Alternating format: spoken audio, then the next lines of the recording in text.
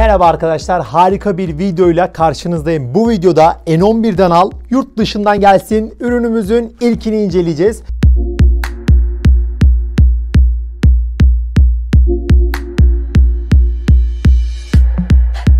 Bu ürünü yurt dışından aldım ve herhangi bir şekilde hiçbir türlü gümrükle ilgili bir işlem yapmadan bütün işlemi N11 benim yerime halletti ve bana ulaştırdı. Hem de Aras kargo ile geldi. PTT kargo ile falan da gelmedi. Tabii şu an korona virüsüyle ilgili sıkıntılar olduğu için gümrük de birazcık gecikiyor arkadaşlar. Çünkü 14 günlük kurala büyük ihtimal uymaya çalışıyorlar. O yüzden süre birazcık uzayabiliyor. Ortalama bir ay civarında bana ulaştı. Türkiye'de yaklaşık 8 gün kadar bekledi. Tabii yurt dışından gelmesi de yaklaşık 20 gün kadar sürdü. Ama sonunda elime ulaştı. Bu ürün Xiaomi'nin 4 antenli gigabit versiyonlu router modemi. Bu modemin diğer tüm özelliklerini açıklama kısmına ekleyeceğim. Dilerseniz açıklama kısmından tüm özelliklerine ulaşabilirsiniz.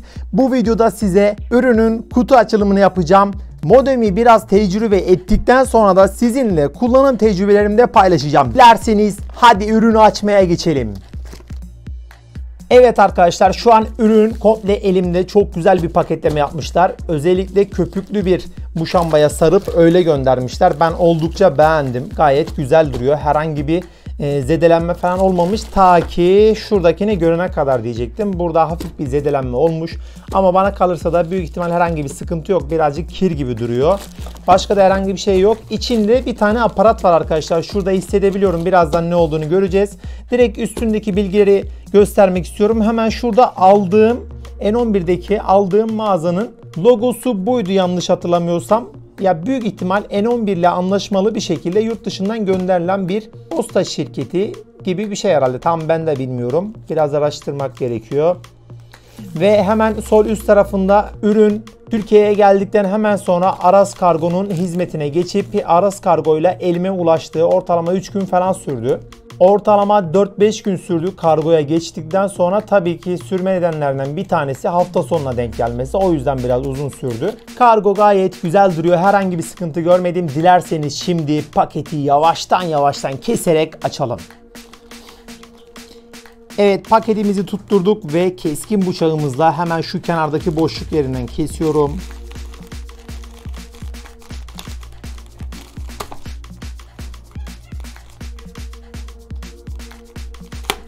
Ve dikkatli olmakta fayda var arkadaşlar. Bir yerinizi de kesmemenizi kesmemeniz çok çok iyi olur. Ben birazcık sıkıntı yaşadım azıcık. Neyse paketimizi açtık.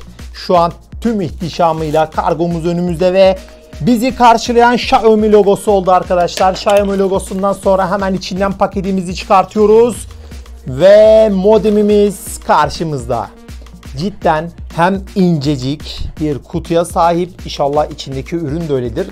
Bu kadar büyük bir ürünü içerisine nasıl sığdırdılar bilmiyorum. Bir bakacağız az sonra. Hemen sol tarafında daha önce hiç açılmadığına dair bantımız mevcut. Kutunun etrafını hemen kontrol ediyoruz. Herhangi bir darbe falan gözükmüyor. Ufak tefek böyle bükülmeler var ama onlar sıkıntı olacağını düşünmüyorum.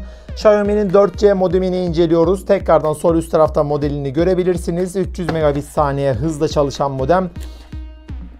Hemen arka tarafında tabii ki benim anlamadığım Çince yazılardan var arkadaşlar. Bu Çince yazıların Türkçesini açıklama kısmına ekleyeceğim. Oradan bakabilirsiniz ve paketin içerisinde bir tane de tabii ki Türkiye'ye uyumlu olabilmesi için büyük ihtimal içerisinden yurt dışı priz çıkacak. O yüzden Türkiye'de kullanabilmem için bir tane priz aparatı koymuşlar. Bu aparat sayesinde biz bu ürünü Türkiye'de çok rahat bir şekilde kullanabileceğiz.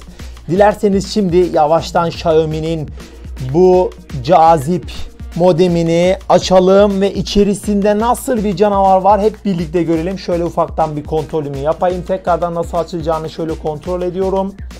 Evet, evet, evet, evet. Hemen sağ ve soldaki bantlarını kesiyorum. Şöyle ayağıma sıkıştırıyorum arkadaşlar. Tek başına video çekmek bu kadar zor. Evet kestim. Hemen öbür tarafını çeviriyorum, çeviriyorum, çevirdim. Evet şu an kesiyorum. Evet. Şu an bütün işlemi başarıyla tamamladık ve yavaştan sağ ve sol taraftaki yerlerini açıyorum ve içerisinde güzel kalın bir karton bizi karşılıyor. Büyük ihtimal bu karton sayesinde herhangi bir şekilde zarar görmeden elimize ulaştı modemimiz. Şöyle tutalım. Açtık ve şu an tüm ihtişamıyla Xiaomi modemimiz karşımızda. Tabii ki bu kapaklı bir şekilde açılmıyor arkadaşlar. İçinden kaydıracağız büyük ihtimal. Ben iki tarafını da açtım yanlışlıkla. İlk tecrübe böyle oluyor. Şimdi tek elle modemi çıkarmaya çalışıyorum. Birazcık müsaade edin hemen çıkartayım içerisinden. Ve ve ve ve ve ve ve ve ve modemimiz içinde. Ben de bu modemi böyle dik görünce nasıl böyle sığdırmışlar içerisine diye düşünürken modem kendisini fazlasıyla anlattı arkadaşlar.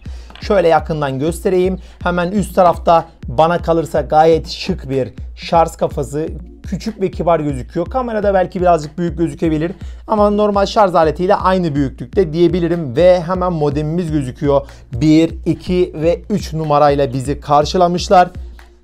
3 adımda çok rahat bir şekilde kullanabileceğimizi ifade etmişler. Kutunun içerisinden herhangi başka bir şey çıkmıyor arkadaşlar. Kutuyu şöyle kenara bırakıyorum. Küçük aparatımızı aldık ve dilerseniz modemimize yakından bakalım. Evet arkadaşlar hemen modemimiz karşımızda ve tekrardan şöyle yakından göstereyim. Hemen antenlerin içerisinde giden küçük kabloları burada görebiliyoruz. Ufak bir boşluklar var. Tabi bu boşluklar sizi endişelendirmesin. Çünkü bu boşluklar antenleri kaldırdığınızda kaybolacaktır. Herhangi bir sıkıntı yaşatmayacaktır. O yüzden bunlara hiç sıkıntı yapmayın. Ben yavaştan anten, antenlerimizi kaldırıyorum. Şöyle yavaştan kaldırdım ve şu an 4 canavar yan yana duruyor. İnşallah çekim kalitesinde beni utandırmaz. Dilerseniz bunu kenara koyalım şöyle ve hemen içerisinden çıkanlara bakalım. İçerisinden bir tane kullanım kılavuzu çıkıyor ve arkadaşlar bu modem telefondan kontrol etme özelliğine fazlasıyla işlevsel bir şekilde çalıştığını söyleyebilirim. Tabii ki bunu bir sonraki videomuzda size daha net bir şekilde anlatmaya çalışacağım. Üzerinde bilgiler var ve ürünümüzün içerisinden çıkan şarj aletine şöyle yakından bakalım. Oldukça güzel şık bir şarj aleti ve bana kalırsa e, ben artık şöyle bir şey bekliyorum modemlerden. Yani bu tarz modemler zaten 5 volt 1 amperle çalışıyor. Bu da evde kullandığımız en kötü şarj aletinin bile desteklediği şarj gücüne sahip. Yani artık bu modemlerin micro USB girişli olmasını veya Type-C girişli olursa çok daha güzel olur. Olmasını dört gözle bekliyoruz ve arkadaşlar modem cidden küçücük. Küçücük. Şimdi modemin antenlerini yatırıyorum. Çünkü elbisesini çıkarmam için onu yatırmam gerekiyor arkadaşlar. Elbisesini yavaştan çıkartacağım. Çıkartıyorum ve Mi logosu bizi karşıladı. Xiaomi tüm dünyada olduğu gibi Türkiye'de de aşıkları ile birlikte hüküm sürmeye devam eden en büyük markalardan bir tanesi olma yolunda hızla ilerliyor. Çinli kardeşlerimize bazı konularda kıssam da teknoloji konusunda gerçekten güzel ilerliyorlar. Türkiye'de üretilmediği halde Türkiye'de satılan birçok üründen daha ucuz. Ne kadar aldığım fiyatına gelirsek arkadaşlar ben bunu 150 TL fiyat etiketiyle aldım ve şu an 160 lira civarında sanırım. O da dolar kurunun yükselip veya düşmesinden kaynaklı. O yüzden bu konuları fazla sıkıntı yapmayın. Ee, eğer ihtiyacınız varsa zaten bir modem 300-400 lira civarında oluyor. Hani işinizi görecek modem ki bu 2 ve 4 çekirdekli olmak üzere 8 farklı çekirdeğe sahip.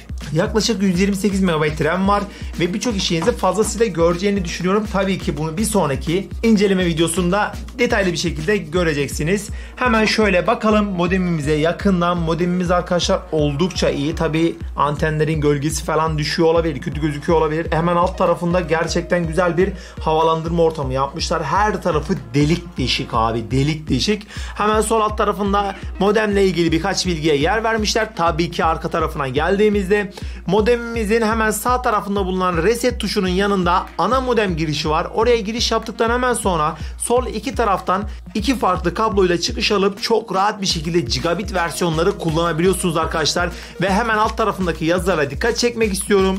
Kullanmak istediğiniz portun hemen alt tarafında bakın noktalarla belirtmişler. Kamerada biraz belli olmayabilir. Ee, 1 ve 2 nokta olan büyük ihtimal sayılarını ifade ediyor. İnternet diye de zaten yazmışlar. Ve ilginç bir şey var. Yazı Türkçe sayılır. Gerçi internet kelimesi Türkçe değil ama.